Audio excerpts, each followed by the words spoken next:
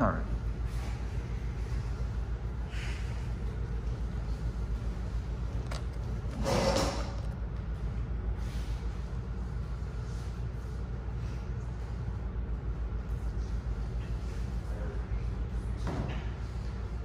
All right, so let's talk about what we're doing now.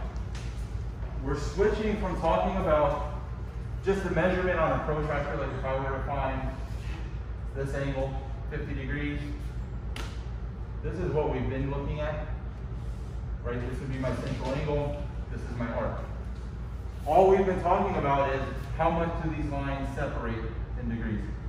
When it asks for length, we're working in one dimension, right? Length. That means if I'm standing here and I want to walk to here, how far do I have to walk? And that's what arc length tells me. Arc measure tells me how far in um, arc. I mean, I use the word far. That implies a direction. How, well, it implies a direction, of course, but how much has it opened in degrees? Now we're actually talking about if I were to follow that line segment from here to here, how far would I have to walk? And for that, like we talked about a minute ago, this is the portion of the entire thing. So this is just going to be n over 360 times 2 pi r. And let's start with one that would be kind of simple. We'll start with a unit line segment. We have a radius of 1 and a measurement of 30 degrees.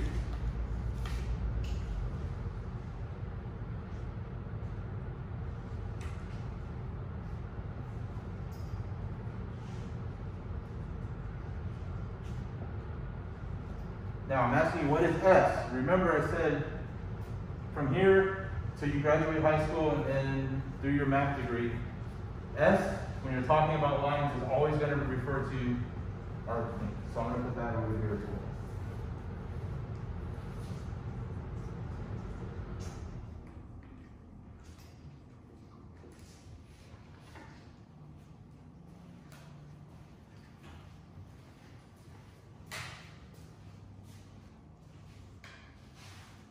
So we'll start by making our substitutions. What am I going to put in for n, Sydney? n always represents the arc measure or central angle measure.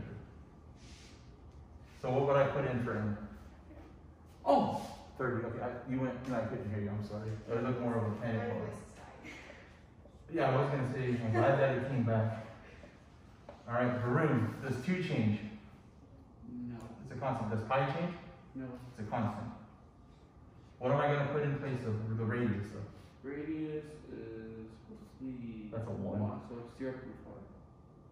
Ah, this is already given in terms of radius. Oh, one. One. Now, real quick, as an aside, Varun, then what's the diameter?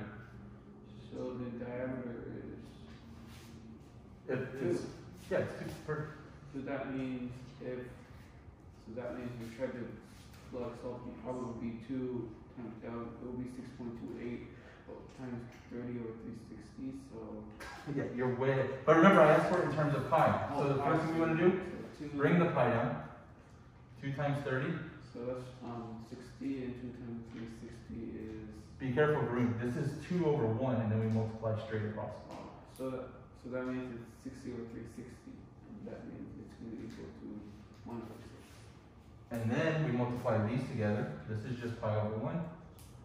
And we get pi over 6. And we're getting back into my bad habit of creating a parabola. All right, I'm going to give one more. Then I'm going to everyone shout out the answer. I'm going to answer questions first. Let me go ahead, me, Vernon. Okay. Um, so that formula, N over 360,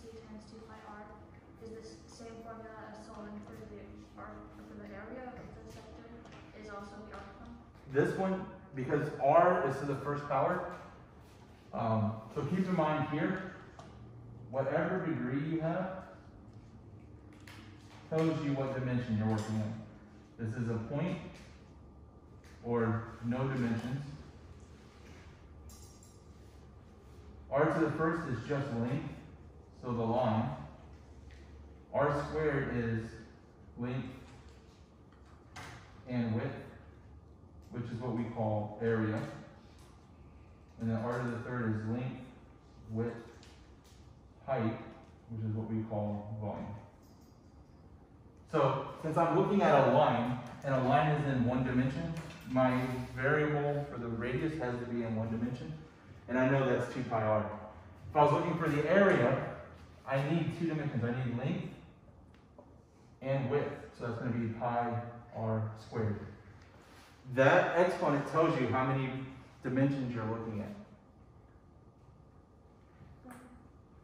If you guys go to college for math, eventually you'll get to a point where this is really hard to answer, so you just go R4 and then you'll have, you know, you just make it up and then it works really easy there and you can say, okay, if we had that dimension.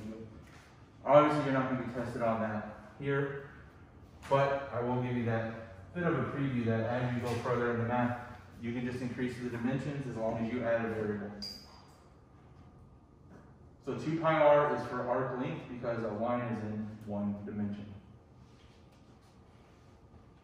I'm going to erase just this part so no one accidentally puts pi r squared on there. Actually, I'm gonna erase, let's do this.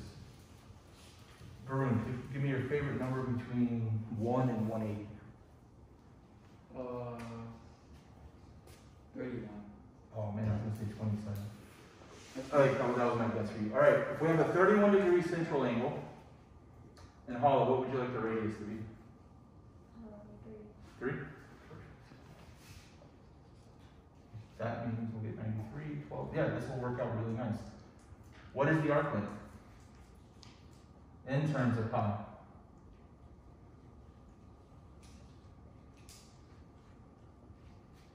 What I'll do is I'll wait one minute, and I'll just say, everyone shout it out, and then we'll see where we're at. Wait, I want to talk thirty. Yep. And this is gonna bring up the perfect time, but once again, talk about how to simplify fractions on this calculator. If you don't know how to do that, and you don't have one, let's grab one. I don't need calculator. Huh? I don't need a calculator. You don't need it? No. What if you did need it? What if you had like four million sixteen over three sixty? Then it's all good. Yeah. Varun, I'm always too scared of the time left on the test to ever do that. But I do admire the confidence you have there.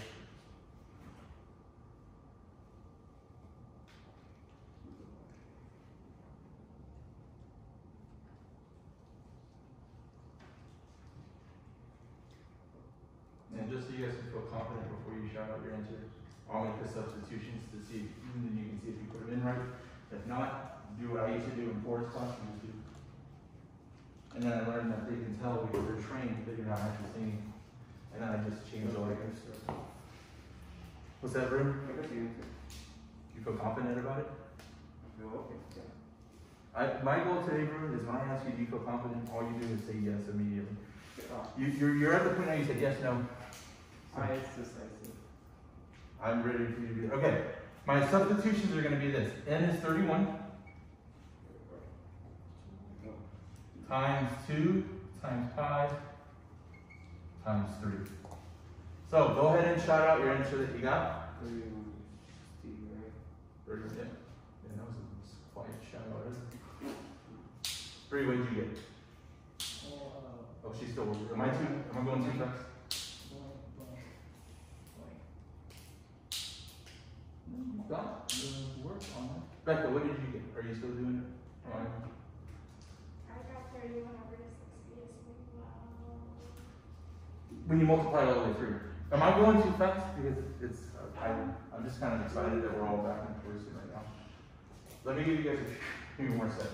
I'll tell you what, when I see six people give me a thumbs up that they're ready to shout out their answer, and you're just gonna multiply this through. And what I'm assuming is gonna happen though is some people are gonna have it simplified, some are, Shayna, what's up? Do you multiply by six, like the thirty-one times? six? Yeah, definitely combine these first. This is gonna be six pi times, oh god, here we go really bad. Yeah, thirty-one over three sixty-six. I have a question. Bruin, go for When it. you find these quotients along that you'll see like. Yeah, that's why we're spending so much time No, on no. Yep. finding the arc of a degree. That, it's all over the books, yep. But what I like give you like these six, they're gonna give you like thirty-one degrees straight. That's what I'm, yeah. when I buy the review books, this is exactly what they look like. Alright, did I get any thumbs up yet? Got one, two, straight up thumbs down, and this here work. Six, and you got three. There you go. I got a phone call from Mr. Dane last night, which is long on the phone saying, are you sure you want to make them come in? That's why I said you can't wear the I have a question. In algebra two, do you learn about like some part of geometry, like logs, plus, sine? You will learn logs, yes. And algebra two, depends on how far your teacher gets. Um, I learned when I taught algebra two, I pushed it a lot faster than the others. Um, you'll learn logs, and we don't have to, you'll learn logs, exponents. I think you touched the fundamental theory of algebra. If not, you'll definitely do it with me in pre-calc. Um, We don't do trig, right? Not right now. If you do any trig in algebra two, it's just memorizing the unit circle. Oh. But we kind of touched on that a little bit in here. You'll learn this in every degree that matters in between. And, all right. Let's try again. What do we got, what do we get in terms of pi? What's your numerator, guys? Thirty-one. Did we multiply the six through yet for one? Eighty-six? Simplify it down. And then it simplified back to thirty-one? Yeah. Beautiful. All right, what's our denominator? Sixty. Bree, did I mess you up? No, you did it right. Then I told you to multiply by six again. I didn't see that step. Oh, well then it's gonna go right back there. All right. Are we good? Shana, How do you simplify the, I know you said in class, but how do you simplify the on the fraction? calculator, it's almost like I told you, you better ask because I wanna talk about it anyway, so thank you. So on this calculator, I'm gonna go ahead and do six times thirty-one. And I'm gonna see that that's one eighty-six. Let me do this right here. Sorry for the close-up, guys. So I got one eighty-six, right? I know that's what my numerator needs to be. So I'm gonna come back, I'm gonna press one eighty-six. And then there's this ABC button down here, right by the back arrow. Bottom left of the calculator, immediately to the left of the number one. When I press that, I get this little right angle thing. It should say 186 right angle. Did you say it's DC or ABC? ABC. No second yet. So you should have 186 ABC. Oh. Right up here. You're fine. I've been in this calculator for four years and I know I can never find a pile. Now, we, once we have that little right angle, hit 360. And you should have 186 right angle 360.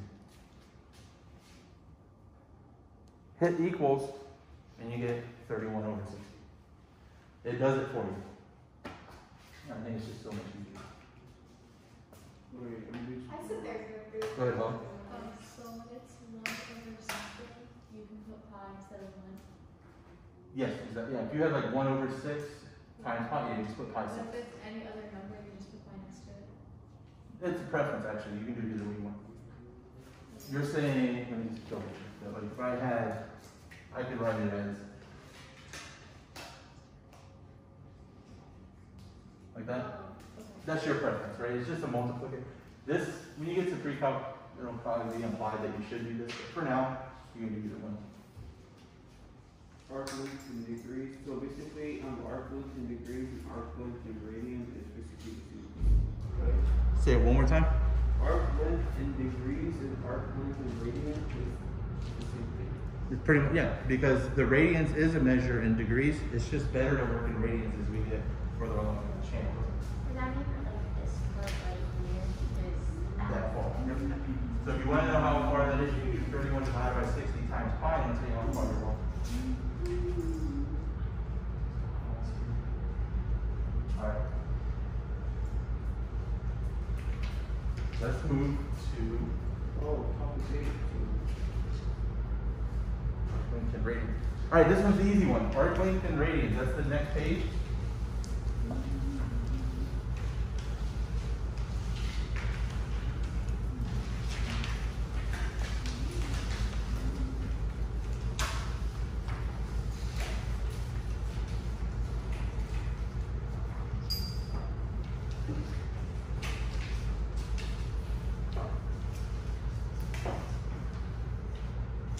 And here's a little sneak peek as to why you're gonna want to keep using radians as you get further along.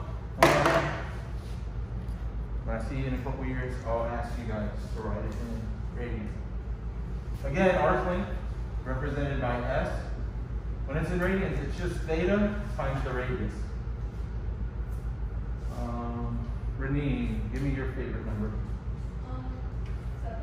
Seven, okay. We'll make that the radius. And then let's just do two pi halves doesn't make any sense, just pi. Um, let's, just call this two pi. So let's break this down really quick. This is arc length again. This is theta, that represents my central angle measure in radians. That's just 2 pi. And I like this one right now because it goes back to this question. How do we write that? Well, this is the same as 2 pi over 1 or 2 pi. So it still looks like that 2 pi thirds that we were dealing with earlier. We just picked a little wonky number, which is no problem. So problem. the answer will be fourteen. Uh, Varun, tell me the answer again. Fourteen pi. Varun, then, is it? Oh, you just do that. You just multiply your radian measure times your radius and you're done. And that's why you memorize, well, bit of a hypocrite here. I never even knew about the unit circle, so Mr. Basile showed it to me.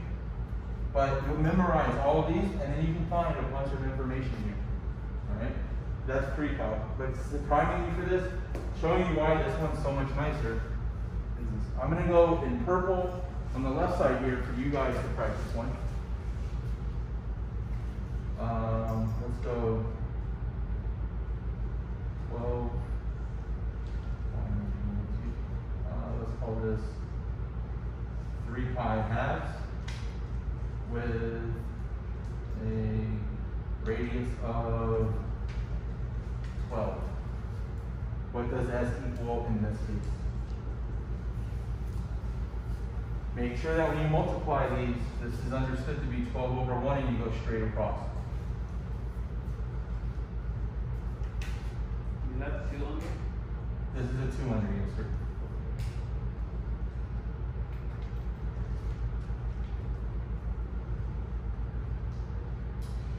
Alright, if you're watching the video and you saw me pause there and then do this, that was my brain rebooting trying to I was showing up.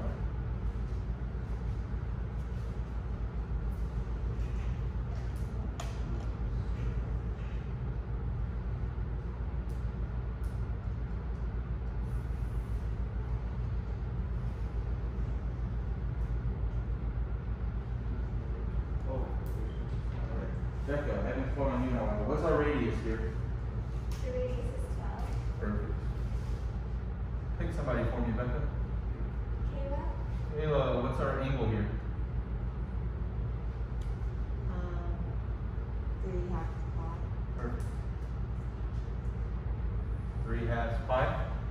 And everyone at the same time, what is our arc length then? Wait, I have a question.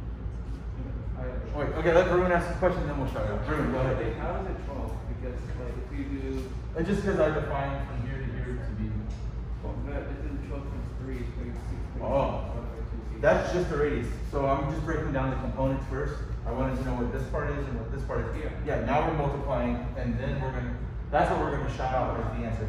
Twelve wasn't the answer for this part. So on the count of three, everyone tell me what, basically this times that is. One, two, three. Eighteen. Eighteen. Everyone's confident on the eighteen, and then everyone whispered pi, which is funny because the pi number changes. Yeah, twelve times three is thirty-six. Over two, always bring your pi straight down to your final answer. Eighteen pi. Feel good about these? Do you ever multiply by five and that's? If, thank you for that question. When I write an equal sign, it needs to be an exact answer. Exact answers have pi. Does anybody know why you have to keep pi for an exact answer? Yeah, it's irrational. It goes on forever, so at some point I have to round. If I ever write this,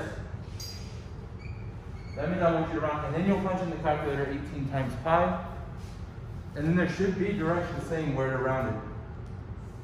So here I'm gonna get fifty-six point five, let's call it five five, because what I really get is five four eight, so that'll round up. So, that's the approximation of our arc length.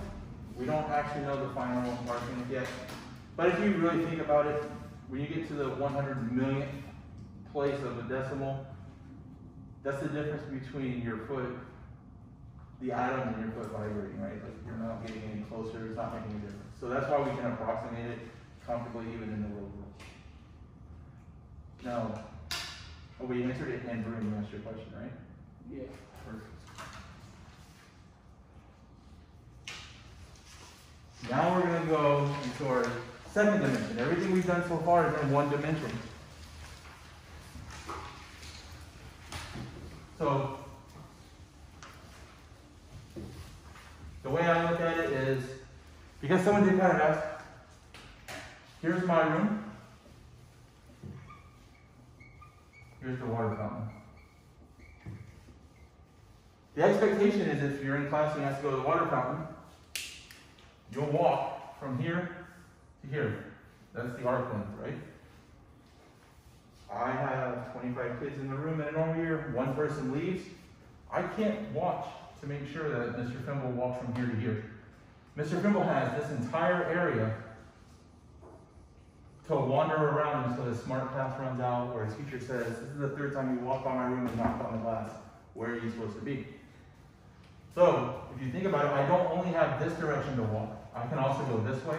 So I have two dimensions, right? I have length and width on this board. Obviously, I can go upstairs, downstairs in 3D. But this could be my path. Talk to Mr. Fernandez, run up front, talk to Coach Bill, get some water, right? Definitely longer. So I have this entire area to roam.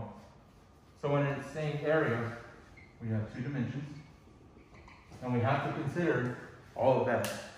So when I ask for a smart pass in the two-dimensional plane here, what's the total area that I'm allowed to roam around becomes? Twenty-two point one. This is room 221. That's just my room. Let's do that. That's a good point. Let's not put numbers on the board just yet.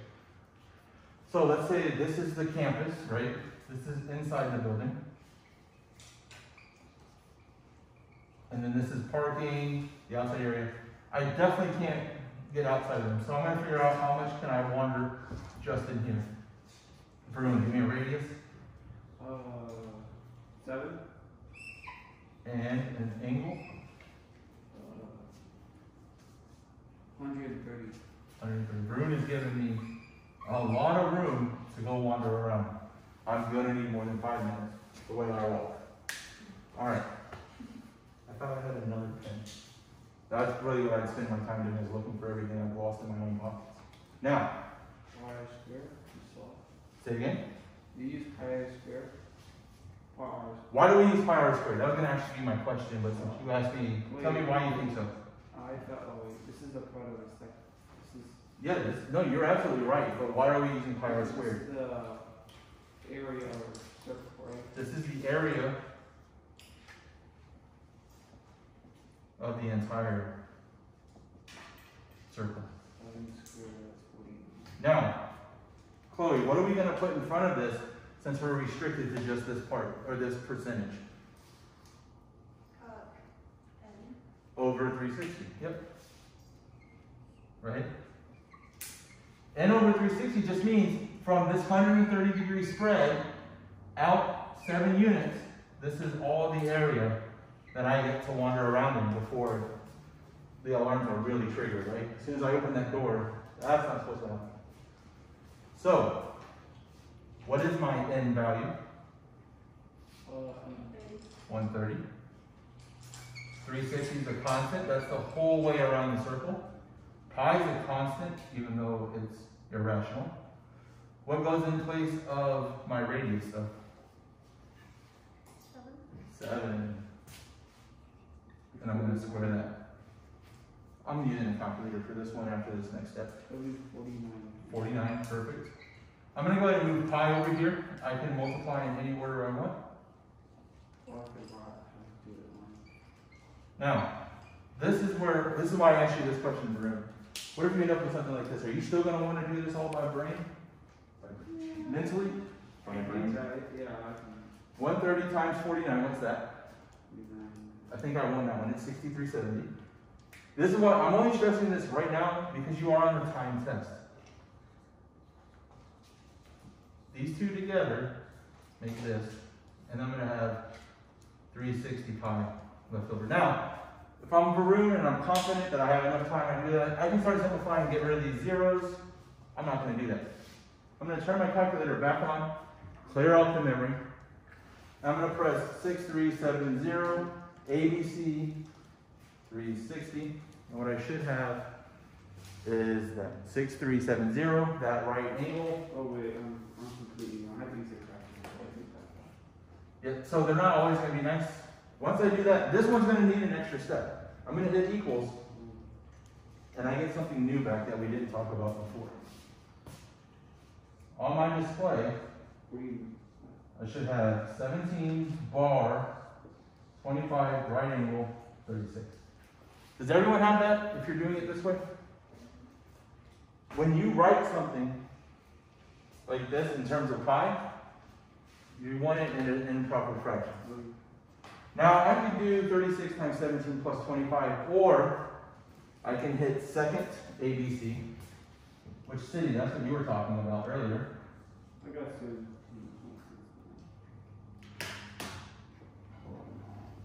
If I hit second ABC, I get. Did anyone not get that? Good chance I made a mistake if we're not at the meeting. Now, Varun said you got it, what did you say you got, sir, on the calculator? got like seventeen Point six nine four repeating? Yeah. That's still the right answer. But Varun, if you're taking the EOC and you've gotta punch that in, here's what's gonna happen to you. Seventeen point six nine, that takes all of three seconds. When do you stop hitting four? At graduation? Wait, what? That's four repeating forever, right? Yeah, terminate, wait. Yeah, forever. So we have two ways we can do this. We can either agree to make sure we put it in an exact improper fraction, or you guys can watch me until two o'clock. Yeah, that's fine. Varun, you wanna switch it over? Nah, that's good, yeah. Okay, because I'm getting tired of this, but my fours are getting a little bit nicer as we go. So this is why we want to know how to do it this way, because they're gonna say, give me an exact answer. If I stop here, that's not the right answer. This is more accurate, still not the right answer. This is more accurate, still not the right answer. I want to keep it just like that. Alright. Now, if it asks you to round it, then you would say something like this and something. Hollow. Oh, you did forty-nine times one thirty, and then you put that over three sixty? Yes. I did forty-nine times one thirty over three sixty, but I just put it together. In the calculator on your own? Yeah, I Yeah. some, so it's fine. Yeah, yeah, you're just doing it more efficiently. I just don't want to skip steps. But if you guys can do it more efficiently, that's probably what I would do sitting at my desk. So yeah. Any questions on this one? Sydney? Can you, I was very going to say apologize. Um, can you leave it as, uh, six hundred and thirty-seven over three sixty and then pi next Oh, to it? Or yeah. move the pi up to six hundred and thirty-seven pi over three sixty? You can have it there or here. Wait, how do you turn your decimals into a fraction? So you can. You can't, you gotta put it in this way. Oh. Now, I'm just gonna take this one from you because this battery is going, so there's one with a good battery. Wait, was this yours from home? No, that does. Yeah. I was making sure I'm not committing theft on camera. Um. All right. Oh, yeah, you're right. That, if you divide that with, it's gonna be seventeen point six nine. Four forever, right? Yeah. Now, Varun, if you were trying to convert that, you'd go crazy, right? Uh, I mean, It's fours all the way down. Okay. We just did that one. Trying to think that working. All right, Bree, here's where you asked, how do we find a fourth? So So Bree said earlier, how do we find a chord? Let's find a chord. Wait, is the area for sector? Did I skip one? Everything we just was off area of circle page. Area a circle is degree. Oh, I gave you, the so that was all for this one. This was literally just to show you pi r squared. So. So on this one, just do this. And then on the other one, just write, and then you're done. We actually covered it both. I guess I could have saved uh, fifteen prints by doing that. Oh my god, we're going fast. Do you feel like we're moving fast? Yeah, it's just like ten papers. It's been almost two hours. It's longer by thirty minutes and you're, it does feel like we've been here maybe forty-five minutes to me. Oh yeah, it is eight o'clock. Okay, is it going too fast though? Or is it that you're getting a good pace learning, but you're covering a lot of content? Yeah, we're in the wrong. All right, let me mess up that feeling for you. We've been here for two hours and we're still in the first topic of seven. But the other, no, but, all right, is it okay? Just, I wanted to show you the area of a circle pi r squared. I don't know why. I thought that needed to be two separate slides. Let's do some practice problems and then we're gonna move on to topic eight. Topic, oh. Really? Constant time, right? Huh? Topic Get sine, cosine, tangent. That's true. That is our trig part. You guys are gonna get a big break from trig and algebra two, except for maybe the unit circle, depending on the teacher. And then you're gonna be doing nothing but trig when we throw it. You crossed out circle and put segment. What's the difference between a segment and a section? Did I put the wrong word? Probably. Let's go back. Ooh, this is. It is a sector, not a segment. Abby's right. So, let's read, so now we're gonna have this, now do this, and put sector.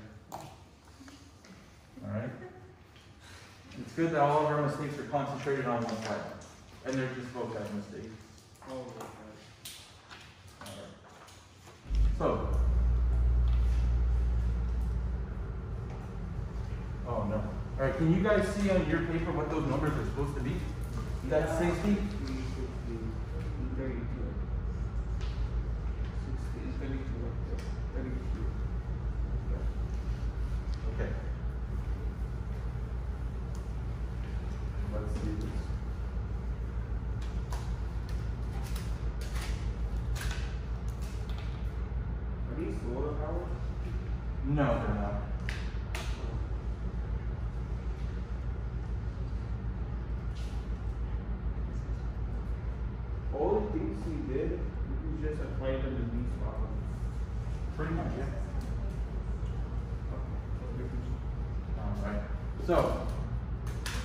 First thing, I chose this problem because I want to talk about why I don't like this problem. This is thirty-two here, correct? Yeah. Take a survey of the room. And just tell me if you agree with me. When I look at this, this means to me that this line segment is 32, right? And then you go home, you do the homework, and then, especially nowadays, you made two mistakes on the vocab in a row. You're like, what is he doing? You didn't show us this. Because it's going to keep telling you wrong. So, boss, in their mind, thinks this implies that KL is 32. So frustrating, right? So annoying. If I were to be honest, I think if you're talking about the full line segment, you put it outside. Because if it's under, this is a visual barrier to me, meaning we want just that part to be 32. Mm, I don't, I can't see the test. That's why I chose this problem to talk about it. That's a lot of, there's a lot of these problems, right? Now, say it again, Brent. There's a lot of these problems, right? there's gonna be a lot of stuff like this. Now, the reason I wanna bring this up is, in the directions, which really there aren't any, it does not say round. And if you do this the way that it appears, where this is thirty-two and this is sixty, you have to round. It's a crazy number. So when I was doing the homework, this is ten, so not too long ago, I was getting frustrated, and I said, oh, wait a minute, it's the boss. Don't sue me. Um, and I know that they do wonky stuff like that. So I tried it where this whole thing was 32, and that's what they intended. Now, that's like drawing a traffic light. I know I'm not using a color. And I put my light coming from here. We all know that's green, right? And I say, all right, it's, you know, kindergarten. Here's where we're at talking. And you guys start talking. I'm like, this is it. That's supposed to be red. It's not red. Red goes up here. 32 should go up here and show you. This is bad visual communication. But to help you guys, and why I want to talk about it is, if it doesn't say round, but you definitely need to round, look at it again and see if you can figure out a way to make sense out of it so that it does work. Now, is that fair to you? Not at all. Do I know that the EOC will do this? Not at all. But my plan, again, teach you here so the EOC tests you here, and talk about strategies that kind of help you make sense of the world. Now, with that being known, the whole thing is 32. What should go here and what should go here? Why is it 16? Redeem. I'm going to ask you for that one. Ah, remember the radius has to, none of these are actually the radius. The radius has to start at the center and go to the edge. It's half of it, right? This whole thing is 32. This shows me that it's cut into two equal parts. 16 plus 16 gives me 32.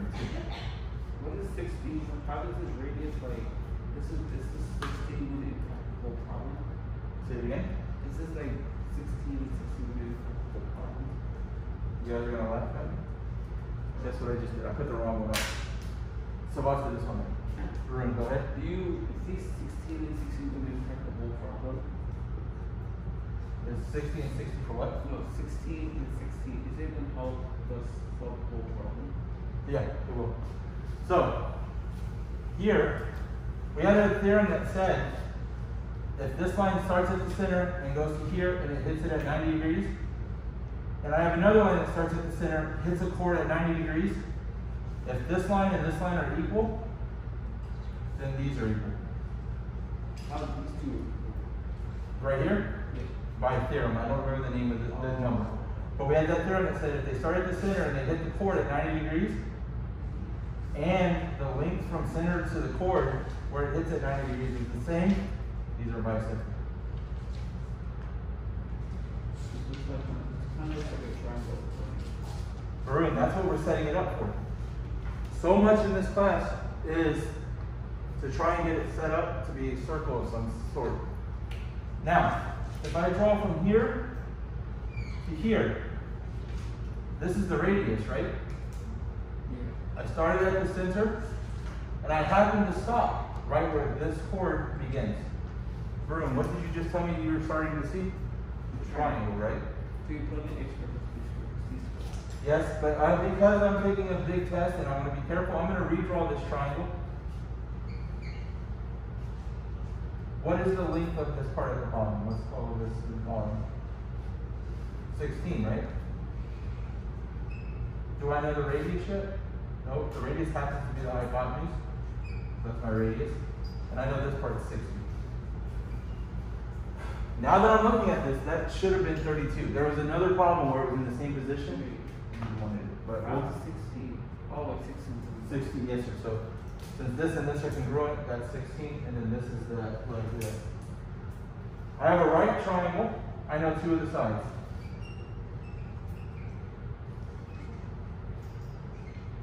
This is gonna be thirty-six hundred. Double checking on this for two fifty-six. Sixteen times sixteen is two fifty-six. Two twenty-five for fifteen, is it good? Okay. Add those together and I get thirty-eight fifty-six.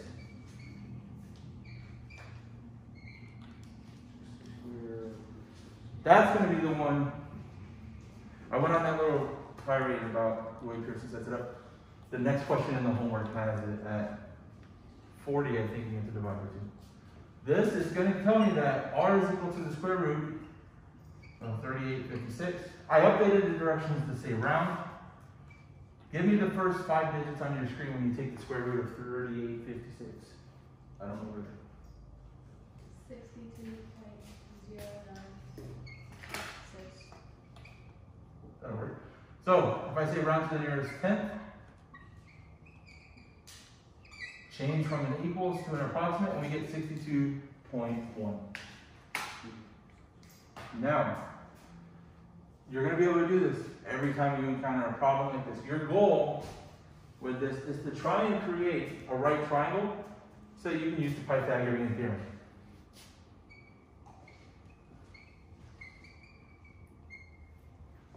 If you can get to that point, knock it out with the theorem. If I show you something and you're like, wait, you could have just used the Pythagorean theorem four steps ago, Wait, tell me that. Yes, sir. wait, you said there's no rounding, right? Yeah, I know, and then I said I put my foot in my mouth, and I put the one that wasn't wrong, yeah. Uh, So what I'm gonna ask you guys to do on your own is do it when that's actually thirty-two for just that side. So what I'm gonna do is wait a minute, let everyone copy it down, ask questions, Shane, go for it. Were you just solving for the radius? That's all I was doing the whole time, just solving for the Hey, radius.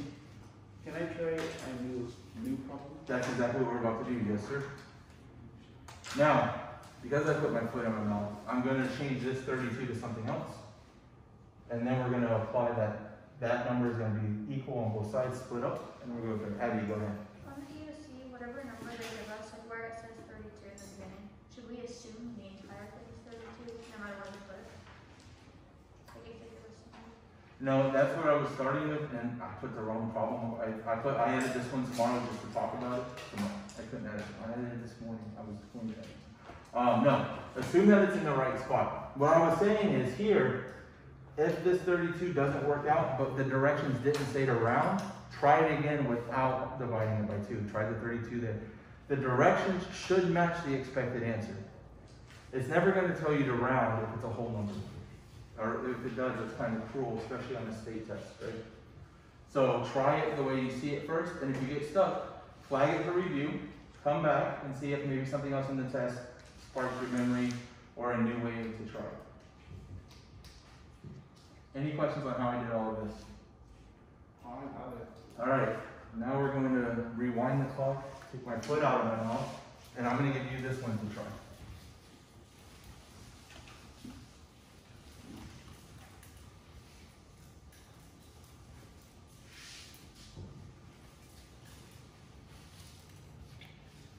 And so it's crystal clear. I'm going to tell you that I want the length of line segment KL to be 64.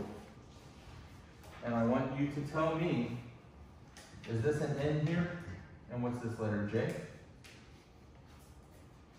Broom, what, what's the point at the center? N? I can't Uh, see. it, yeah, Is this a J? Yeah. yeah. It is?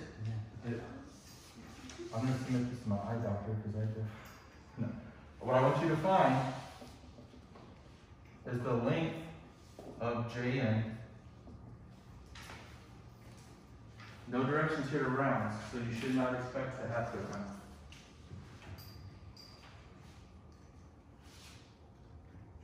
Oh, you.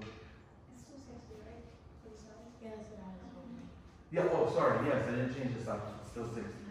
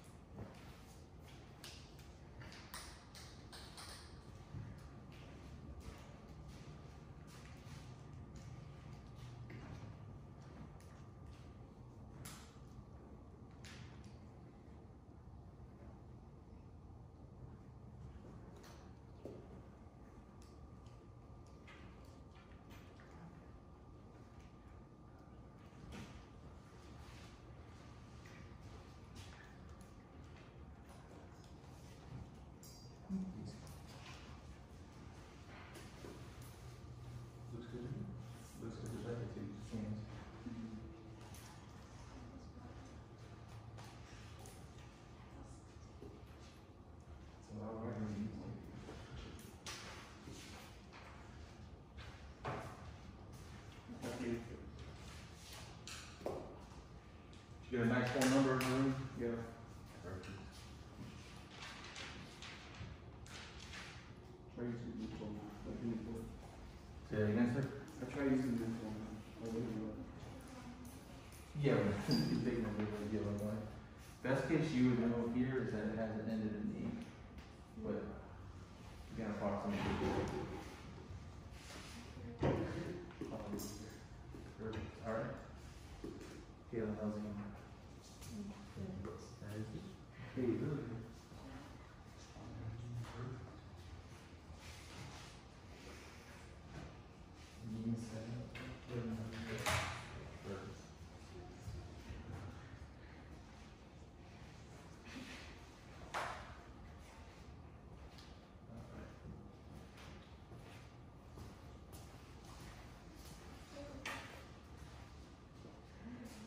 That's it. All right, on the count of three, shout out your answer confident, everyone looks good. One, two, three.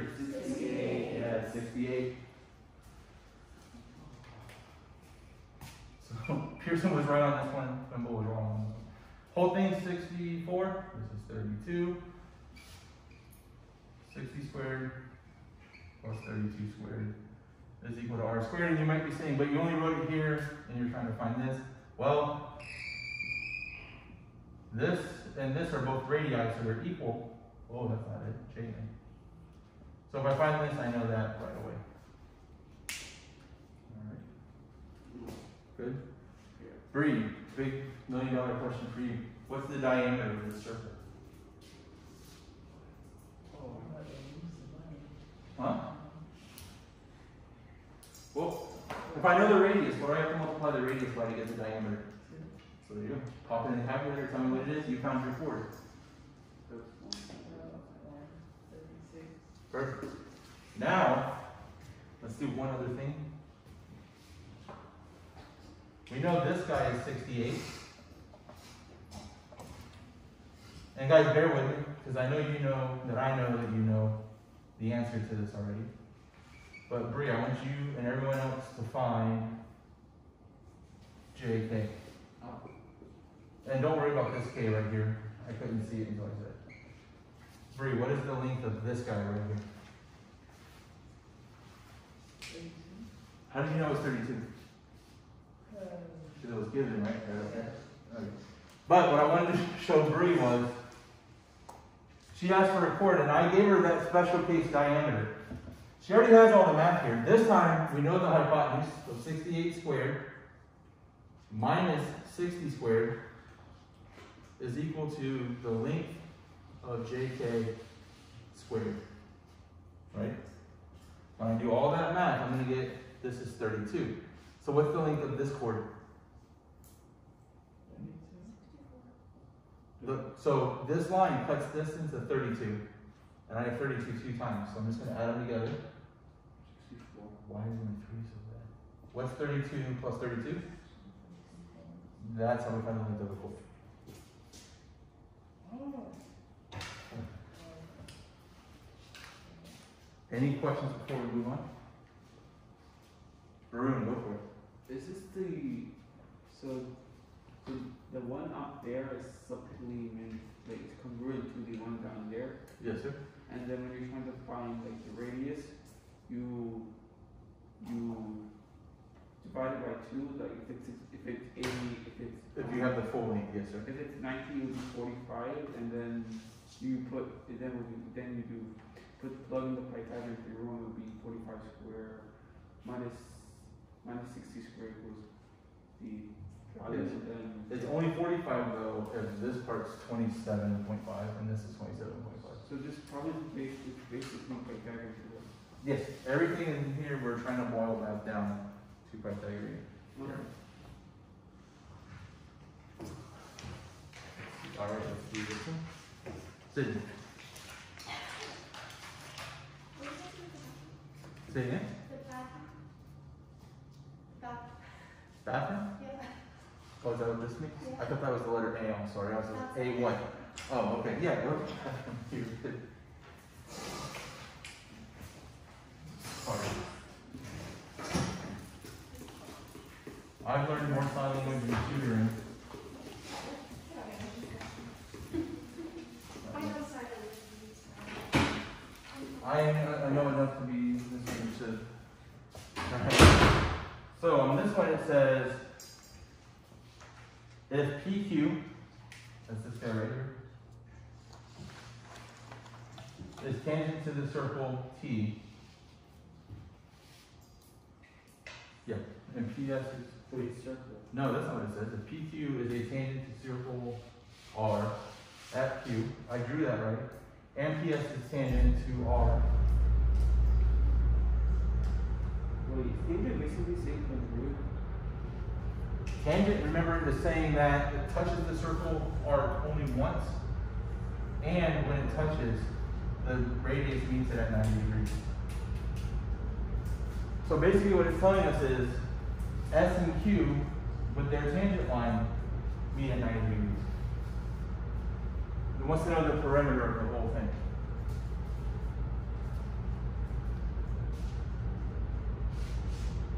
Alright. So, I'm gonna redraw QRP.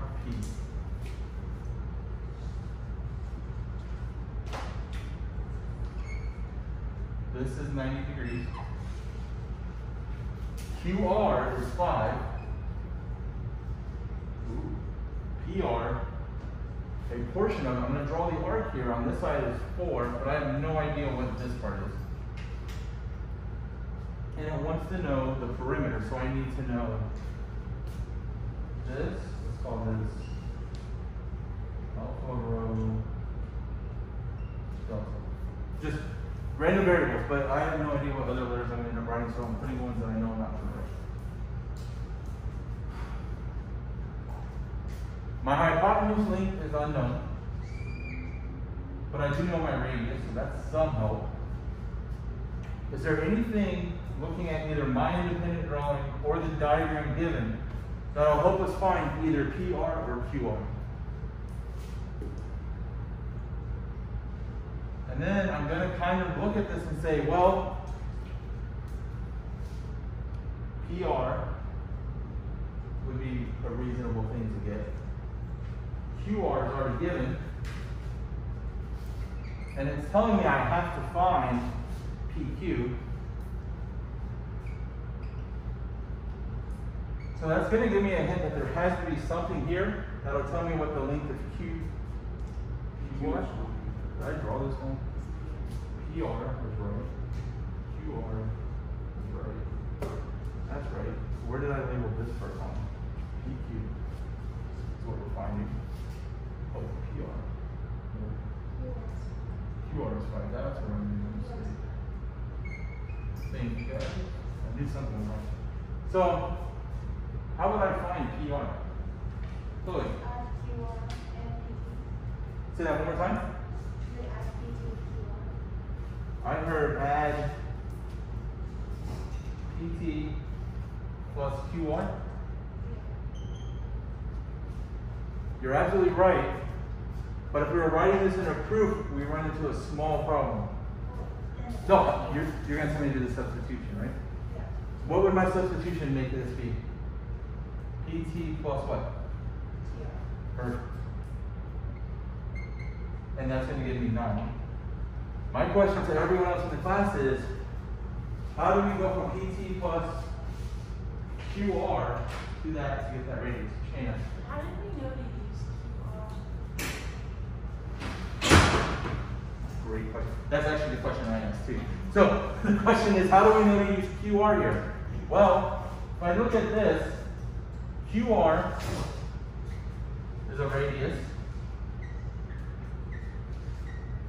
TR is a radius as well, right? Yeah. I knew what QR was. This is going to give me 4 plus 5 equals 9. But that doesn't really help me here, except for what do we know about the radius of every radii of a circle? They're all equal. So I can come in here and I can substitute QR's length for TR, and I know that's also 5. Then, because of the segment addition postulate, because this ends where this one begins, I can cut it out and just make PR by adding them together. So we knew to use QR because we weren't cutting any corners, which I'm really happy about. And we did a substitution and we knew that this part here is now 9. Boy, I'm so confused. Me too. But let me ask where you're confused so we can go from where you are. I'm so confused. On like this whole, how did we? Alright, is this the part that's confusing you? Yeah. Alright, let's talk about it in a different way. Let's get a step back from the more rigorous proof idea, and let me ask you this, Arun. If I go from R to here, how far is that? And then this is a radius, right? Yeah. If I go from here to here, what is that? That's cool. Okay. From from the center to the circumference, is that a radius, a chord? What do we have there? That's a sector, right? Oh, don't look at this. I'm only looking at the line itself. Oh, Sorry. What line is this? Is that a chord, a radius, a secant? What do we have there? From R to T. That's a secant. Remember, this would be a Oh, secant. oh, oh I No, this is a tangent. A secant would be touching twice like this. Oh. That's, that's a radius. Perfect. And you already told me that QR is a radius too, right? Yeah. And isn't the radius always equal to every other radius? Yeah. So if QR is 5, then RT is 5 because they're both radii. Is that fair? Why did you show me?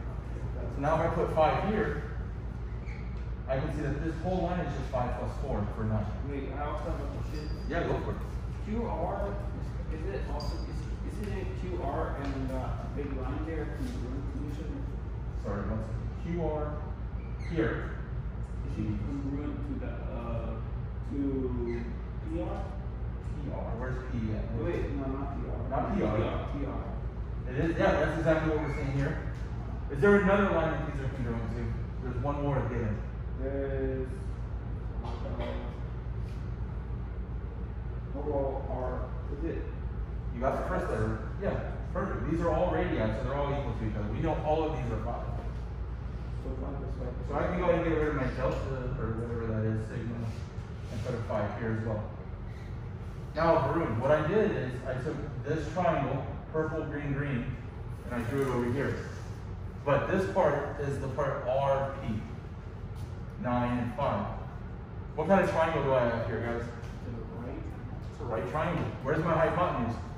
what hypotenuse is I'm at nine. Remember, even though I'm bad at drawing, this would still be pointing straight across to my hypotenuse. I'm just gonna write hypo. The hypotenuse is the biggest. Hypotenuse is always the longest. So now, I have a right triangle, I have two sides, what theorem am I gonna use automatically? Is equal to A squared plus B squared, what do we call that one? Pythagorean theorem. I've lost two markers, that's because I'm holding this in this hand and they're in my right pocket. Alright. So this is gonna be C. Bruin, is this A or B? That's B. How do you know? Because it doesn't matter, right? A plus B, B plus A. Perfect. So, I'm trying to solve, hopefully, after all of this, for PQ. PQ means that A squared plus 5 squared equals 45. Oh my goodness, That's 9 times 5. 9 squared. 16, 16, 25. That's, that's forty-one. Right? I hope so. Oh, no. I'm wrong. Wait, it's wrong? Wait, I agree. No, wait, is it? No, No, you're 51. right, you're right. Is it 51? What is it? It's fifty-six. It's 56. Man, Bruin, I have so much confidence in you, man. Thank you. Now, I have to take the square root of that. I, I don't know. And then I look over here and I feel defeated. I don't have a 56 there. Anybody else feel defeated? Or does anybody else have a next step forward? I know, I know what it is, I just, I think you can, um, I think five plus four, you can, it's gonna be, I think this is my idea, I think it's C. okay, Varun said, I'm gonna put Varun right here next to C. Yeah. Now, Cindy, do you have a way to verify Varun? How would you do it? So first we're gonna try to find a smaller square root for fifty-six. We can divide that into four times fourteen. And four times fourteen, uh, goes into the two square root of fourteen. And then because you have two of those, and you have five, that would be C because you can add, uh, this is an algebra two, algebra one thing. Everything you've done so far pretty much is. is, uh, if you have the same, not exactly, number outside of the square root and the same number as inside Inside, the square root. you can add the then you coefficients. add each other. Yep, Devin. Last name is B because five plus five is ten. Alright, let's see who we agree. Oh, I see what you're saying. We only accounted for one of the sides there, didn't we, with him, or with five. Let's see where we land. So, everyone, what Sydney was saying is we can simplify this to be two square root of fourteen. Touch that probably in algebra one briefly, but you'll be tired of doing this in algebra two quickly. All this is telling me is that PR is two square root of fourteen. I'm gonna go back and erase this what did I find? No, not PR, is it? No, we found PQ, right? Oh, yeah, PQ was defined. Mm. I, I, Go ahead, Brent. I just think it's, um, it's, it's C because I think because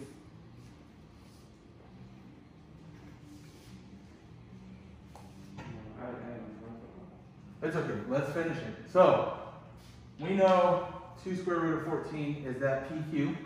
We know QR is five. Varun, you've already told us RS is five. Oh, yeah, oh, wait, this is, uh. And now do you see what Devin was saying? Yeah. So let me ask you guys this. Let's skip forward a little bit to congruency. If this is a right angle and this is a right angle, PR is always congruent to PR by the reflexive property, and QR and RS are congruent because they're radii. Doesn't this mean I can flip? I have two choices here. I can reflect across PR, and everything will line up. The 5 goes to the 5, 2 square root of 14 would come here, the 90 degree angles would match up, PR matches up. These are congruent, so I don't have to do any more work through congruency. Also, I can ask myself the three questions, and if you aren't in my class, we'll get to those in a minute. But those are basically, are both of my triangles right triangles? Yes. Are their hypotenuse congruent? PR is always congruent to PR, so that's a yes. And is there a pair of corresponding congruent legs? If I flip these over, these will match up and they're congruent.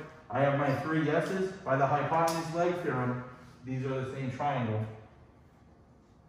But I'm looking for the perimeter of a quadrilateral. So I'm going to add up all of these. And what we end up with is 5 plus plus 5 plus 2 square root 14 plus 2 square root 14, leaving me with 10 plus 4 square root 14. And that would be B. Abby, I have two questions.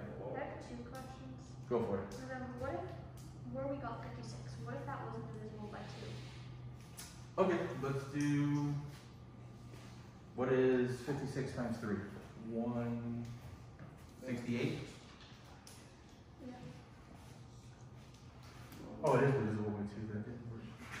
Let's do this. How about 27? Oh, no, Huh? no. Because you have to have square roots. So you're introducing a dangerous element without like the 2 here, and that's skipping and stuff. What I'm going to tell you to do, guys, is let's do this first. Let's list the prime numbers. What's the smallest prime number? Three, one. I'm here a wide. Right. If you think it's one, raise your hand. All right. If you think it's two, raise your hand. I have one vote for two and my vote, so I'm gonna go with two first. Let me ask. You, let me just point something out. And if you're watching this and you've taken a higher level math class, don't don't tell them wrong. What's the definition of a prime? It can only be divided by itself and one, right? And those have to be unique. But it becomes a problem when there's no other way to write 2 unless I do 1 times 2 to get 2, right? Or 2 times 1 to get 1. What I'm saying is if this is division this way, it has to be multiplication backwards. So this would just be 1 times 2 equals 2. 1 times 1 equals 1. If I go backwards, 1 times 1 equals 1. The problem is, 1 satisfies both of these requirements at the same time. And for it to be prime, you have to be able to divide by yourself and 1. It has to be two unique numbers. Do we have both cases for 1 times 1 though? We get both cases, cases, cases simultaneously. 1 is not prime. Now, if you want a better explanation than that, other than just a surface, um, you know, definition talk, we can definitely do that later, like during review week, especially if you're exempt from the final. We can spend the whole next two hours talking about a better way to think about it. But the definition of prime is only divisible by itself and one, using those unique numbers. And one doesn't work because it does both cases at once. So it doesn't satisfy both, only satisfies one. This would be a great time to talk about truth tables. Go ahead. I just, uh, but you say one isn't prime, It is not prime. but isn't, couldn't it like be multiplied, multiplied or divided by itself? It can. And it is also multiplied or divided, or it can be divided by itself as well, right? Yeah, but how is it not able to be? It needs to be uniquely divisible by itself, which is what we have here, right? Two divided by two, same number, they're not. Okay. And it has to be able to do this. These numbers in the circle must be oh. different. Here, it's the same for both and it doesn't work. That is your geometry definition of prime. But, Two years from now, I won't mm-hmm. accept that. okay, so if you're, so, so when you're talking about prime, it has to be, it has to be the different, same number, so like, It has to be the same number twice to get one, and it has to be divisible by one to get itself. yeah, and for four, if it's, if it's a two, it's gonna the same thing. So let's talk about why four satisfies these conditions, or doesn't satisfy. Four divided by one is four, right? Yeah. We're good here. Four, Divided by two is two, that's not correct. exactly, we don't have unique numbers. It fails. Yeah, but like, if you're doing two, like this, two divided by, wait, yeah, two divided by one equals two, and two divided by two equals one. Yep. Different, that's wrong, right? Is there any other number that can work? No. That's why it's true. Because I don't have a third case. Here, I can also go to four divided by four. Oh, one. Yep, so I have three cases there. I can only have two for it to be prime. So let's try, we agree that two is prime. Easy way to remember it for me, because it took me forever to stop writing down one in my primes, is that the first prime number is even, and it's the only even prime number. How about three? Let's check three. What can I divide three by? One works, I get three. Does two work? No. Nope. Does three work? So every number between one and three uh, Oh, only works here. That's prime. What's the next one, Varun? well, I guess five? Yeah, five. Five. Five divided by five is one. Can't divide by two, can't divide by three, can't divide by four, can't divide by itself. So that's really your test. Can you count the natural numbers as the divisor a little bit? Then we have seven, eleven, All the odd numbers. except for two. Every prime after two is odd. About? But not all the odd numbers because nine doesn't fit. Oh, most of the. Nine's actually kind of the opposite of a prime. It's a special. It's I a, was, what's nine? it's a perfect square. Oh, yeah. Three squares. Yep. So that'd also be twenty-five. Would 25 fit? No. No, 25 doesn't fit because it's divisible by 5. So what happens is the further we go down this line, the larger the gaps get. Here, difference of 1, difference of 2, Twenty-one. difference of 2, difference of 4, difference of 2 again. What's the next number? 17? Yeah, then twenty-one. What about 19? Nineteen. Yeah, yeah, nineteen. 21 works, 7 and 3. Oh. right? I think since we're pretty much up to this number, right? We're not going to find a prime that is divisible by higher than halfway there. So let's check ourselves. Varun, can I divide? Oh no, this was Abby's question. Abby, can I divide 27 by 2? No, right? And that was where you asked, what's the next prime number? It's 3. Is 27 divisible by 3? 3 and 9, right? Is 9 prime? Nope. What, what's the smallest prime that I can divide 9 by? Perfect. Now I chose 27 for a reason because when we pull these out, anything that I can group in pairs, because there's an understood 2 for square root, that automatically comes outside. You can bring out groups of 2 to leave this, basically 27 is 3 times 3 times 3. And it tells me I need 2 of each number to get outside. That's like the entry fee. I need two threes, so 3 makes it out. I don't have another partner for this guy, he stays, and I end up with 3 square root of 3. Yeah. How do you check if you did it right though? Three, three, four, let's just, I know we did this Three. Yep, that's it. Again, this is an understood two here. If I want to go back inside, my friend group, my two threes have to split up. Right? They don't share, let's say these are siblings and they don't share a bedroom. In the house, they each get their own room, but for safety and numbers, they leave the house. Is three squared is nine, and three times nine is twenty-seven. So that's how that works and backwards. Now you're looking at it and you're saying, what if I had that? One seventeen Where squared. did the two come from? Like, why did it? Right here? So, the opposite, so if I gave you two squared, and I took the square root of that, right? What would the answer be there?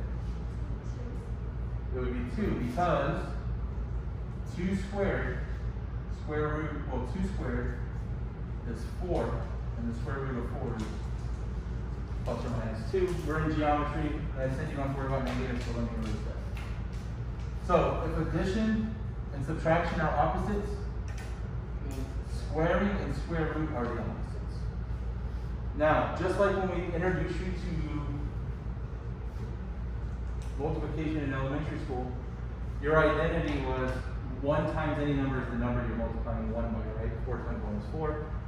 Here, you understand that the coefficient now is a one, right? Because there's nothing there.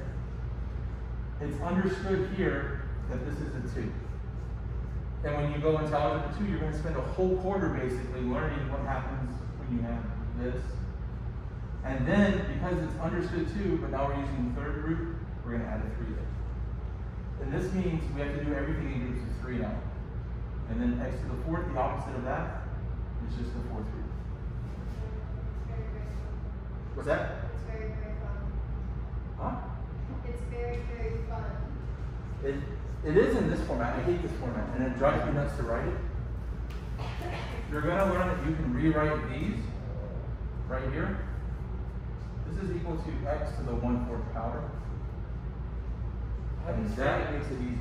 how do you say something that's like, I know this Like this? this cube root, what's Cube root. Okay, this is technically called a quartic, for being four, right? Just do this, fourth root, fifth root, sixth root, seventh. Yeah, keep it easy. Just like in geometry, we can learn what a dodecahedron is, or just call it a 32 line, you know what I mean? Uh, Alright, sorry, completely off the rails there, but Abby, does that answer your question as to what happens when it's not divisible by two? You just go through the prime numbers until you surpass the number underneath. If you don't get anything, then itself is prime. When you find numbers, that's when you call them outside of the. Here? Oh, now I see why you. Wait, I understand how they work, how they coordinate, but when you use it, like, I don't know. Like you, okay, so you're good doing this part. Sure. No, you. Let me take a step. Okay, say your say your part again so I can listen. I understand how the, at the top, how they coordinate together. How do you know when to use them? Like, when you find a prime number, do you put that on the outside of the square root? Gotcha. Let's do for this class. When I did the Pythagorean theorem, second degree, second degree, second degree, right? I remember earlier when we were talking, we had R0 was zero dimensions, R1 was one dimension, R2. This is in two dimensions. This is also in two dimensions. It stays the same. Basically, whatever this number is, goes here. So here we had a squared, b squared, c squared. So I'm taking the square root, right? Now, if I had instead, then this would be the square root of something, but not square root cube root. It matches the exponent that you used. What you can't do right now, now there's nothing to do here if I had a squared, b cubed, c cubed. That you don't do anything with. If all three of these match, then that's where this number is, right here. So think of it as this way. a to the x is equal to, wow, that was just messed up. Root x. Whatever x is in the exponent goes outside the radical. And then is it a part of your answer in the end? Yes, so we did the cube root, we did the square root of 27 and we got 3 square root of 3, right? If I do the cube root of twenty-seven, the smallest prime number is still three, leaves me with nine, three and three. Because this is a three out here, everything has to come out in groups of three, so this is just three. If you want to check it, right, because cube root opposite is cube, what is three to the third power?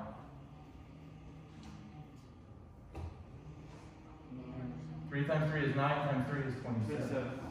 I thought three. So the exponent becomes the part on the outside of the bracket. Oh my god, that's a lot. This is algebra two though. And uh, in geometry, it's always safe to assume there's a two here.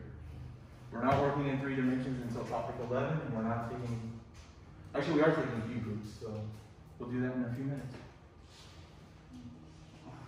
Thank you. Say my- again? Thank you. You're welcome. Hopefully it didn't confuse you words, and you're just being polite, I hope not. Any other questions before we move on? We have a lot to do. I know, it'll go faster as we get through the heavier duty stuff. Okay. Alright. I'll Spend like two hours on that problem. That's a good thing. That means everyone was asking questions and hopefully besides Abby, everyone understood better what their question was.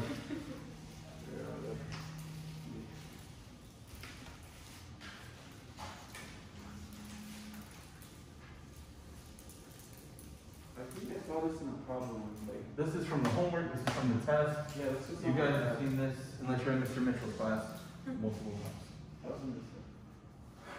Only because we didn't test on this topic. Now, I'm going to say we can spend all day doing this, or I chose this problem because I want to say, topic ten is really important. But does that mean every time I do this, I have to go to topic ten to get my answer? Or can I take a shortcut with something else we learned? Bree, thank you. Bree said we need a shortcut. I'm going to do something here. If I look at this quadrilateral, I can make a new line segment. QZ. Is anyone going to argue with that? Perfectly fine. What happens here now is a couple things fall out from that. The length of QZ is equal to the length of QC.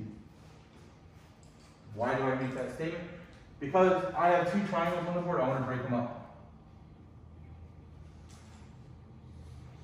Here's BQZ. And here, can you see th- this, Caleb, can you see my screen? Oh wait, oh, you should tape on it, let me know. Oh, here you can see it. Alright, I have BQZ up top. I also have C, It's a right triangle. Bruin, you read my mind. Wait, no.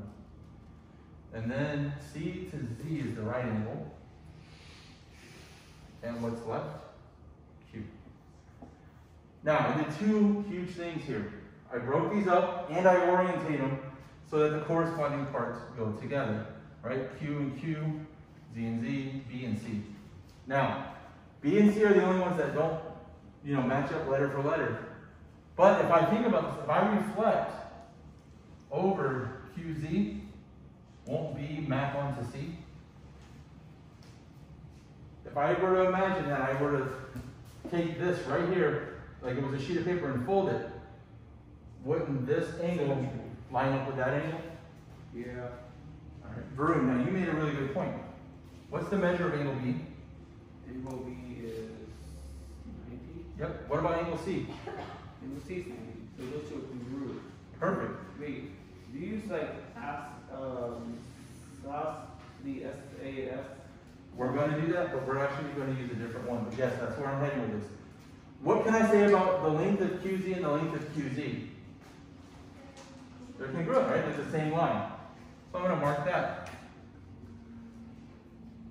Do I have any information that would tell me either ZB and ZC are congruent or CQ and BQ are congruent? Sydney, what do we have? Well, don't we have to do, um, A, AS, because you can't do SSA backwards? Right, you can't do any backwards, forwards, or backwards. But let's just see if we can poach a little bit more information off this diagram. Let me erase this now that we have it drawn. Do I know by any chance that, let's say, from C to Z is the same as B to Z? No, right? I don't know yet because it didn't give me six. I don't have a theorem. But what do I know? There is something else on there. It goes back to the very first thing we started talking about, parts of the circle.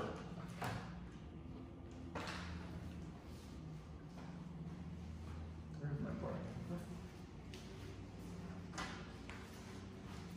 All right, let me give you a hint. The circumstance? I mean, technically you're right. What is AQ equal? But it's way too much work.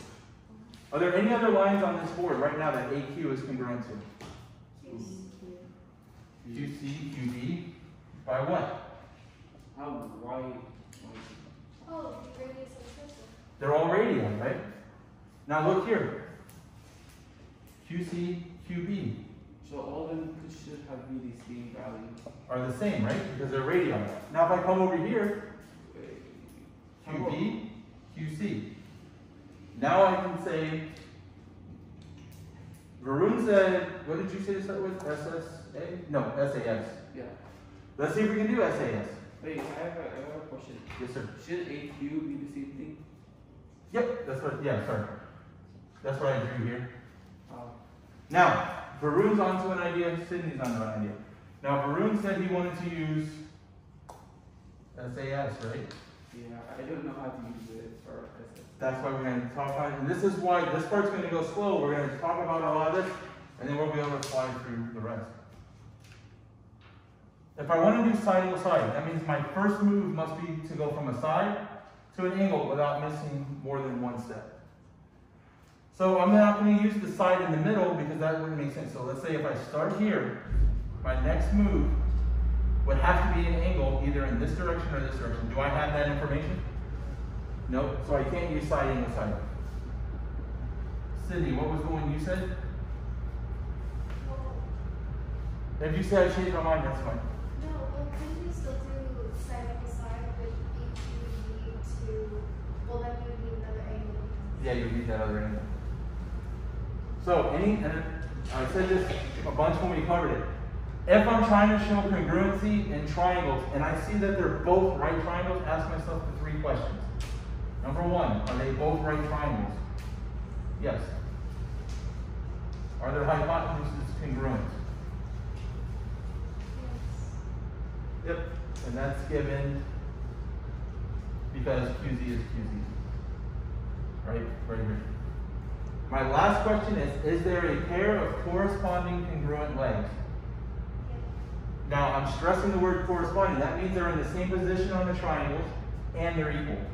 What are my corresponding congruent legs then, Hala? We don't know these are congruent, right? And we've already covered this one. Are these both on the bottom in this orientation and equal? Corresponding means they're in the same position when I orientate them correctly and they're equal. So then my third question is yes. Anytime I say yes to all three of these, these are congruent by the hypotenuse leg theorem.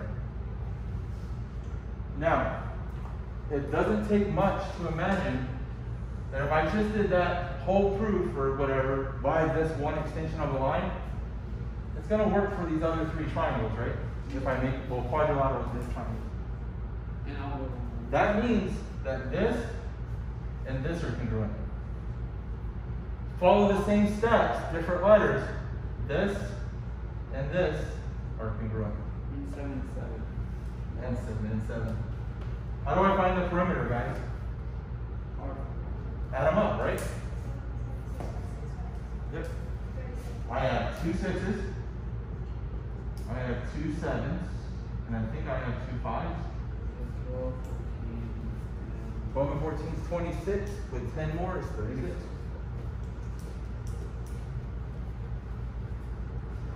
So, our, uh, this should be our final slide for section 10, am I right, Ruth? Yeah.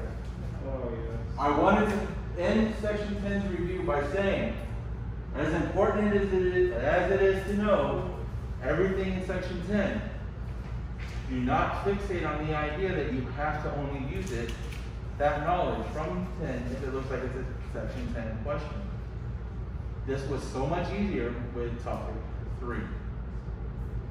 Use all of your skills to make it easier, but know that knowing everything is the best way to read questions. Isn't it just easier because like I'm just like, you know, I like use slides though. What did you know about? I I thought like triangle, well, no, because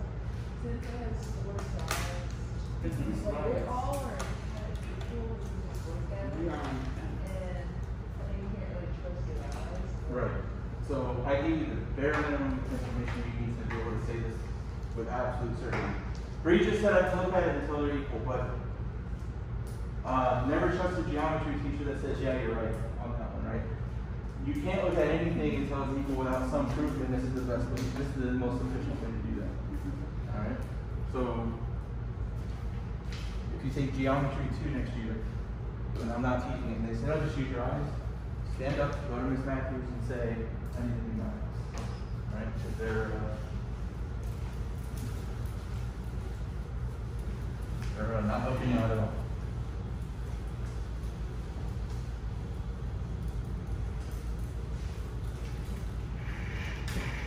I'd like if you want to repeat your successful basketball season, go over construction or just uh, sit on the couch, take a nap all day, or summer, you're fine. All right. Trigonometry, that number two thing that everyone's always asking about. We have sine, cosine, and tangent. I have some good news for you. State of Florida doesn't only offer honors level courses like we have here. And law of sines and law of cosines are honors level topics, meaning for you guys to get your honors credit, I have to teach it to you. But they're not gonna assess you on something that eighty percent of the city isn't required to learn. So if you notice an absence of those two laws, because they won't be on your EOC, these are what we, you know, sine, cosine, tangent, inverse sine, inverse cosine, inverse tangent, and when to use them. Wait, this is not really missing. This part will be, but what you don't need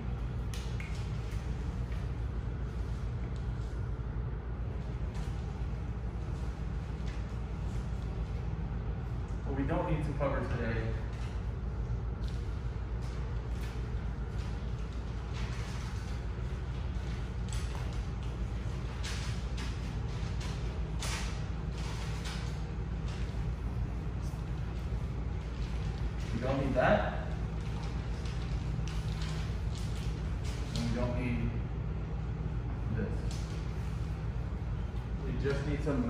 setting up those ratios and either setting up the ratios or finding the angle.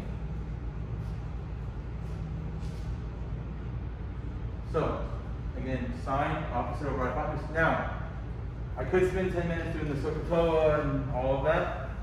If you took the practice test on 5.5, 5.6, or 5.7 if I if you're in block 8, this is a copy, copy and paste, yeah. This is a screenshot, that's the word they use. This is a screenshot of your formula sheet. So you'll have this on your formula sheet during the EOC. So I don't want to spend time getting everyone to stand up and chant SOHCAHTOA and all that. I want to make sure you guys can apply it. Normal school year, Bree or somebody would stand in the corner, and then we'd shout out one, and she would give us the right answer, then I'd throw candy at everyone, and then we would move on. But we're not gonna do that. Now, we will go get candy in a little bit, though. Alright. Any questions on just how sine, cosine, and tangent are set up over here? Is it gonna be about identifying the parts? That's exactly what I was thinking. What's the next slide?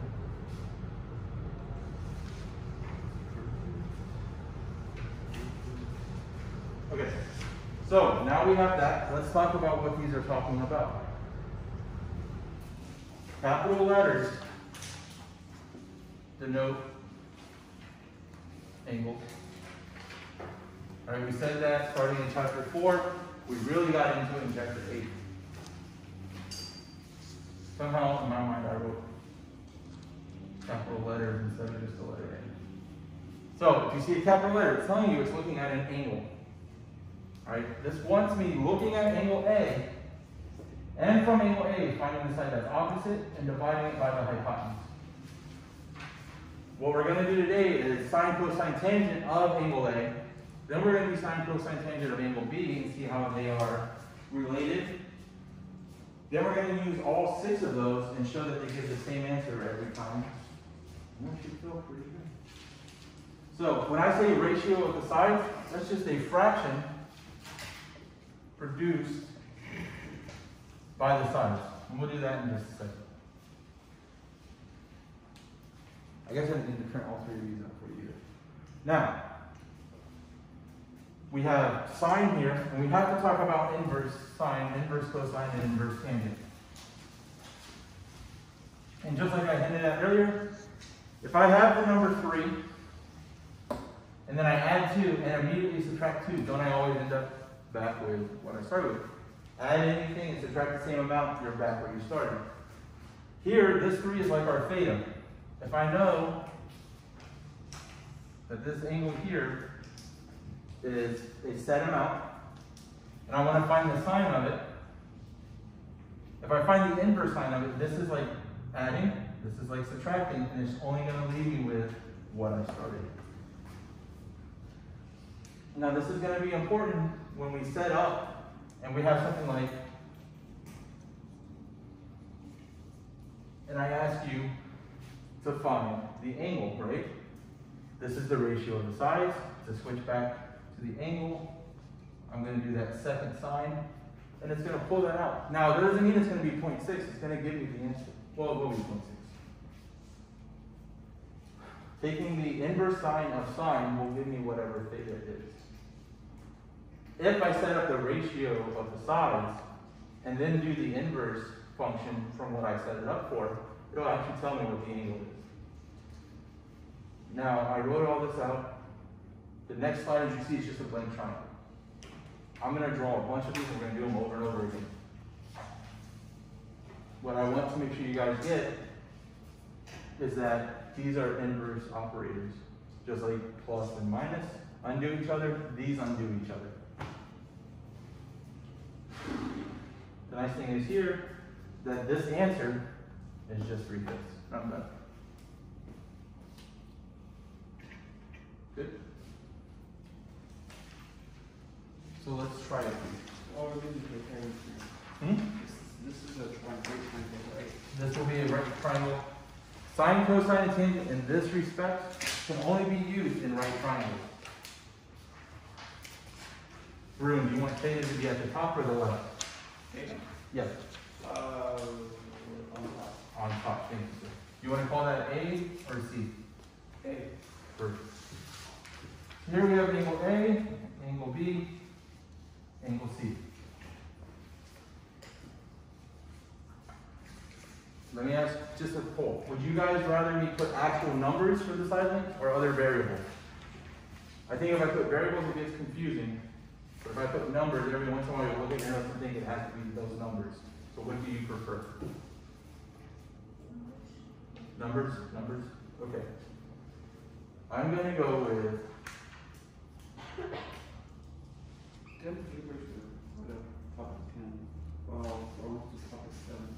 Yeah, we won't be. Now, I'm gonna use a Pythagorean triple because I want our answers to work out and make sense. Let's start, we have theta and A. So the first thing I wanna do is find the sine of A. Oh, we need a calculator now. Yeah, you'll definitely need a calculator, and you're gonna get that long speech about making sure it's in degrees, not anything else. Pretty.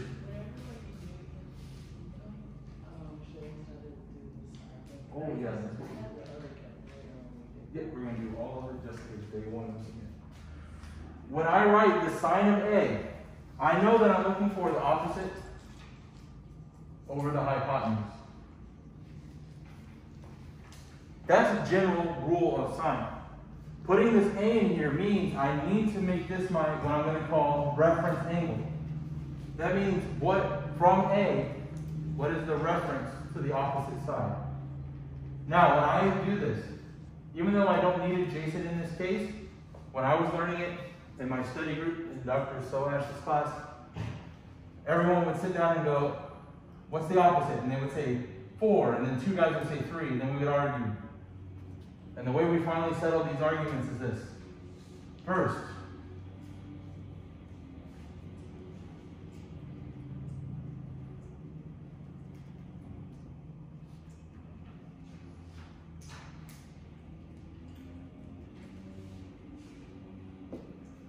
So, we're going to draw a line to the opposite side by bisecting the angle.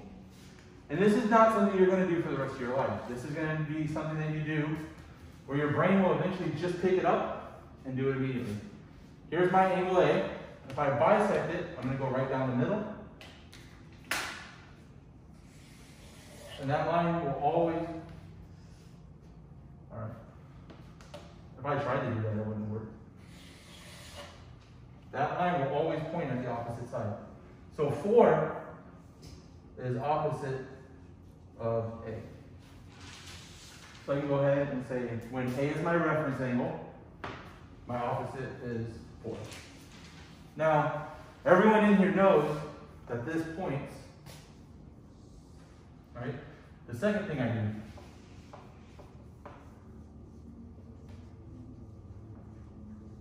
Identify the hypotenuse. That's five.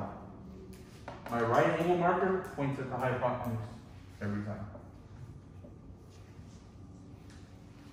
And three, even though we don't need it this time, adjacent is the leftovers.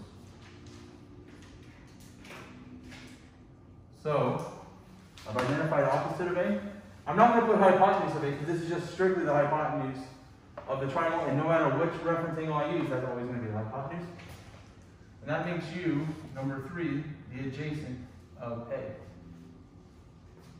So, before we calculate of these, Room, go ahead. Well, AB is basically parallel to C, AC. AB will be, mm, don't put it, don't think of it that way. Just think of this as just a helper line. Yeah, don't try and put any theorems applied to this. This is just to help us see. Now, we're going to calculate these, but I want to find first the ratio of this cosine of A. That's the adjacent over the hypotenuse. So, Varun, what's going to be in my numerator?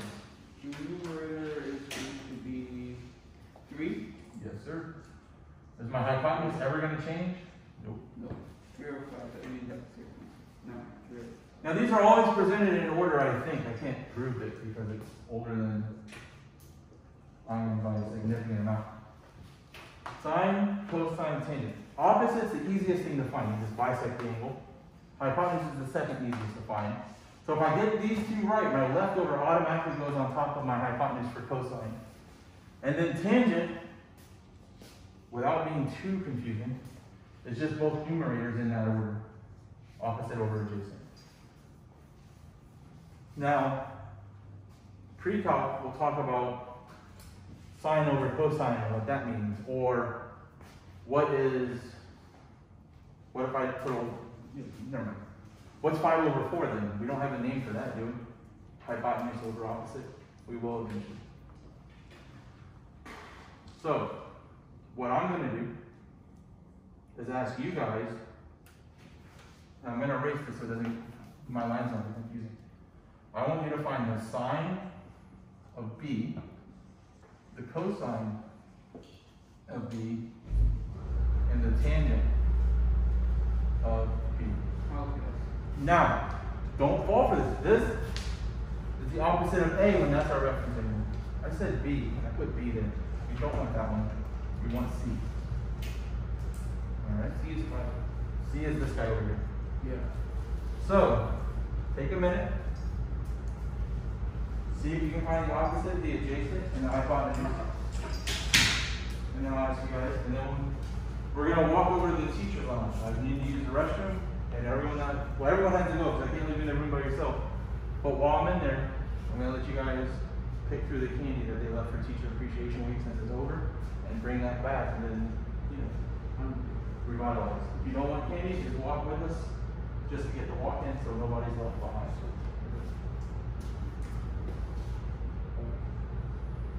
So wait, C is like the, um, Referencing on that. Yep. and that is C is four, or B five.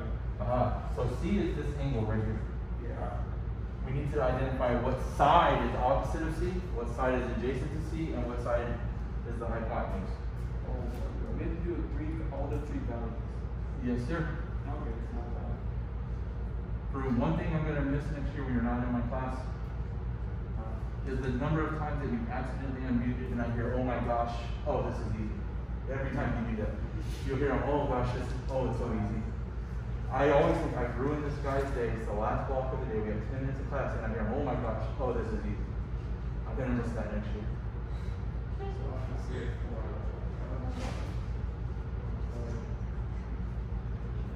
Alright, Don't worry about the calculator yet. What's my numerator for the sine of C? Is it four out of five? Four out, four slash five. For C, if I look at C, if I bisect the angle, where do I end up? Oh, that's, um, See, now this changes. This is the opposite of C. This is still the hypotenuse. And this is the adjacent. So Varun, opposite over hypotenuse when I'm referencing C is what? So. Says three, three over something, right? Yep, what's the hypotenuse, sir? Oh, hypotenuse five. Perfect. Pick somebody else for me for cosine of C. Three? Reed, what's the cosine of C? Yep. Bree, all I need you to do before we leave today is answer one question confidently and not this one. Who's doing that? I want you to do a math question confidently.